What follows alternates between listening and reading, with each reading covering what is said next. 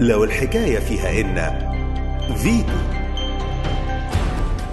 دكتور هشام ماجد نائب مدير مستشفى بداية يا دكتور عايزين نسأل حضرتك عن أعراض متعاطي الترامادول. أعراض بتبقى؟ والله الترامادول ده مشكلة العصر خاصة في مصر. الترامادول للأسف أصبح إسبرين الشعب المصري. شوف السهولة للحصول على الإسبرين هو دلوقتي السهولة في الحصول على الترامادول أسباب كتير جدا أدت لكده. السبب الأساسي طبعا قصة الانفلات الأمني والشحنات اللي بتيجي من بره فخلت كميات كبيرة من المخدر تخش. السبب الأهم ألا وهو البلاد الأخرى بتيجي بتصنع فيها الترامادول زي الصين والهند. بتصنع أنا بأسعار أعرف إن في ترامادول إسرائيلي كمان. وده اللي دخل مصر دي كارثة هو هو كله كارثة.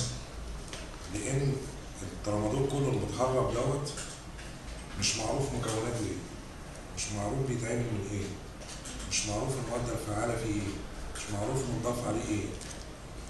عشان كده المشاكل اللي ابتدت تظهر على المتعاطي ما كانتش موجودة قبل كده. طيب إيه الأعراض اللي أنا أشوف واحد مثلا في الشارع أعرف إن ده شارب ترامادول هي زيه زي جميع أنواع المخدرات يعني الاعراض لل- للشاب اللي بيعاني من الإدمان أعراض واحدة. هتلاقي تركيزه ابتدى يقل نشاطه ابتدى يقل النوم يا إما يزيد يا إما يقل الشهية يا إما تزيد جدا يا إما تقل. ابتدى يخش في عصبية يبقى عصبي يتنرفز على أقل الاسباب ابتدى علاقاته مع الاخرين تبتدي تتحطم وخاصة العلاقات الأسرية. كل دي أعراض تقول للاسره خلي بالك إن في مشكلة. طب إيه إيه اشكال الأعراض؟ التعاطي؟ أشكال التعاطي بتاعت الترامادول يعني مثلا هي في حبوب بس ولا كمان حقن؟ لا هو الحقن مش موجودة مش موجودة في السوق المتداول. هي موجودة كعلاج. ودي طبعا جدول أول مخدرات. دي ما بتصرفش إلا بروشته مختومة من دكاترة الاورام أو دكاتره المخ والعصب إنما إن هو الترامادول دي استعمال طبي كمسكن للألم في الحالات الشديدة زي السرطان أو بعد العمليات الجراحية اللي المريض ما بيتحملش فيها الألم ولا المسكنات العادية بتيجي فيها نتيجة فالترامادول ده طبي في الحالات اللي زي كده. طب عايز أسأل حضرتك عن الأعراض اللي بتتعرض لها اللي متعاطي الترامادول هو كصحيان يعني الآثار الصحية اللي بتظهر عليه. بص الترامادول بيعمل حاجتين وهميين. بيزود النشاط جدا بالنسبة للمريض بالنسبة للمتعاطي. المدمن بحس إن بقى آه، زي الحصان. عشان كده تلاقيه منتشر مع أصحاب المهن زي الصناعية زي السواقين عشان يقدر يواصل السواقة على الطريق 10 أو 12 ساعة أو باليوم أو باليومين والصنايعي اللي يقدر يشتغل 10 أو 12 ساعة. الصناعات اليدوية اللي بتعتمد على العضلات وعلى الإيدين. لأنه فعلا هو بيزود بعض الإفرازات داخل الجسم اللي بتزود الاحتمال على الألم بيخليه ما يحسش بالألم. ولكن الزيادة دي زيادة وهمية بمعنى إن لو جه بطل دلوقتي مش هيقدر يتحمل الالام لأن خلاص الجسم اتعود على مستوى معين من الهرمونات ديت اللي بتسكن الألم فمش هيقدر بعد كده يوصل لهذا المستوى إلا بنفس المخدر عشان كده بيحصل قصة التعود يخش فيه الإدمان. وهل برشام الأبيترين أعراض مختلفة عن الترامادول ولا هي هي نفس الأعراض ونفس الآثار؟ لا هو ال- الإبيدريل حاجة والترامادول بس حاجة أنا أنا أنا على حسب معلوماتي أعرف إن الأبيترين أفظع من الترامادول في أثره على المتعاطي هما الاثنين مفيش حاجة اسمها أسوأ من بعض. ال- الإبدريل ليه حالات بيتاخد فيها زي حالات الصرع أو حالات زيادة الكهرباء بالنسبة للمخ فدي حالات علاجية. اللي بيحصل إيه؟ اللي بيحصل مريض الترامادول بيبتدي ياخد الإبدريل معاه لأنه بيخش في نوبات تشنجات. مدمن الترامادول نتيجة إن الترامادول بيأثر على الكهرباء بتاعة المخ فبتبتدي الكهرباء بتاعة المخ تزيد وده الطبيعي اللي في الترامادول الطبيعي اللي هو متصنع هنا ومعروف مكوناته المفروض ما يحصلش إنما بيحصل مع المتهرب الصيني والهندي لأن مش معروف مكوناته إيه فيبتدي المريض يخش وخاصة مع الجرعات العالية من الترامادول يبتدي يخش في التشنجات ممكن يخش في غيبوبة. نتيجة إن الترامادول بيأثر على الكهرباء بتاع المخ.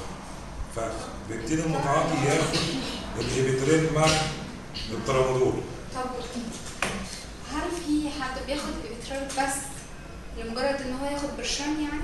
آه بيحصل.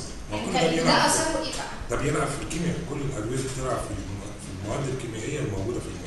اثاره بقى زي الترامادول ولا ليه اثاره تانية؟ نفس نفس نفس آثار الترامادول نفس آثار الترامادول طيب لو خدوا مثلا مع آه، أدوية تانية علاجية يبقى في جرعات بتبقى في جرعات علاجية. الترامادول في جرعات علاجية ما بيزيدش عنها المريض. زي بالظبط الإبيدرين في جرعات علاجية. ولكن إدمان انت بتزود عن عن الجرعه هذه الجرعة العلاجية. طب عايزين نسأل حضرتك عن إيه هي الخطوات اللي يتبعها متعاطي أو متعاطي مبتدئ؟ لترامادول أو التريل أو أي نوع من آه، أنواع الترامادول آه، إن هو يعملها علشان يقلع عن عن شرب الترامادول أو بص اولا لازم الشخص يعترف إن في إله إن ربنا موجود إن ربنا شايفه. لو ديت اترددت جواه ان ربنا موجود وربنا شايفني هتفرق كتير جدا قبل ما آخد أي خطوة غلط. ان أنا أستمر في التعاطي.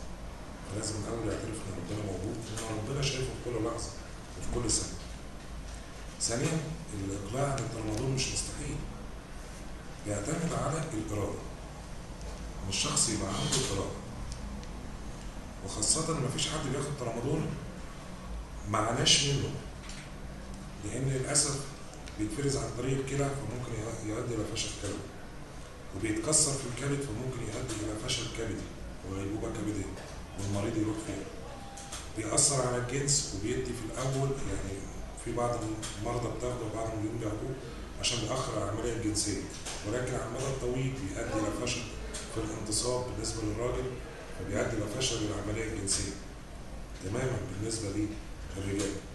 غير انه بيأثر على المعدة ممكن يؤدي إلى قرحة في جدار المعدة مفيش واحد خد ترامادول ما شكاش بمعدته ما شكاش بحرقان على صدره. ما شكاش بجنبه ما شكاش بصداع ما شكاش بدوخة إنه بيأثر على الكهرباء بتاع المخ. فلازم يعترف اولا زي ما بقول لحضرتك إن هو في إرادة. عندي إرادة إن أنا عايز أبطل. إن أنا عندي مشكلة وعايز أحلها. أنا ما اقتنعتش إن أنا عندي مشكلة يبقى خلاص. يبقى مش هحل حاجة. التبطيل زي ما بقول لحضرتك مش صعب.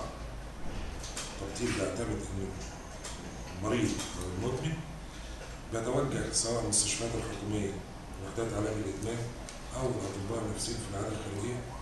ممكن ياخد علاج يستمر من أسبوعين لشهر أو ممكن يزيد شوية مع نظام غذائي معين في الفترة دي. هيقدر إن هو يتخلص منها خاصة بياخد أدوية بتضيع علامات الانسحاب يعني مشكلة المدمن الترامادول بيجي يوقف يتعرض لحاجات شديده جدا خليه يرجع تاني. ما بينامش. زي إيه حضرتك؟ ما بينامش. ما بينامش ينام خالص. يعني لو واحد بياخد ترامادول بطل فجأة بدون أدوية تمنع علامات الانسحاب دي هتلاقيه دخل في آلام شديدة في جسمه. آه تنميل في إيديه في رجليه شديد. قلة نوم دي أشهر حاجة ما بينامش آه نهائيا. تكسير في جسمه مش قادر يتحرك مش قادر ينزل مش قادر يروح شغله فبيضطر نرجع تاني مخدر فالأدوية اللي بياخدها في فترة العلاج أدوية بتضيع علامات بنسميها ديت علامات الانسحاب. آه طب آه، هل آه، من الأسباب الأساسية سعر الترامادول لما بيكون قليل ده بيلجأ للشباب؟ طبعا. طبعا. أنت الحاجة سهلة. يعني مخدر سهل. الحصول عليه في أي مكان. ورخيص آه في الأول. 5 جنيه و6 جنيه تقدر تجيبه. وكمان الترامادول بيديك كذا حاجة ببعض يعني. يعني هو بيديك بتحس بالقوة بتحس بالنشاط بتحس إن بقى آه آه وان هو بيتخلص من الألم. وفي نفس الوقت لو هو متجوز وعايز يستمتع بالعملية الجنسية بيطول معاه العملية الجنسية فبيدي حاجات وهمية كتير جدا للمتعاطي فبيخليه آه، يقبل عليه زيادة ويزود الجرعات ويوصل لمرحلة متقدمة من الإدمان. طب هل حضرتك شايف إن الدولة بتقوم بدورها علشان تحد من هذه الظاهرة؟ آه، ضعيف. ضعيف جدا يعني الانفلات الأمني زي ما لحضرتك في بداية كلامي كان السبب كبير جدا في انتشار الترامادول بكميات كبيرة بهذا الشكل. التوعية قليلة التوعية نفسها للمريض وللشعب وللناس اللي هم معرضين للادمان يعني دول دول أخطر ناس. يعني في فئات في المجتمع معينة التعرض إن يوصلوا الادمان بيبقى أسرع بكتير يعني الناس اللي في المناطق الشعبية اللي في العشوائيات الناس ال- ال- سن المراهقة في المدارس ال- اصحاب الحرف السواقين. الناس ديت معرضين تعرض أقوى ان يوصل ليه ادمان وخاصه حاجة زي الترامادول فإنك أنت تحافظ على فيتو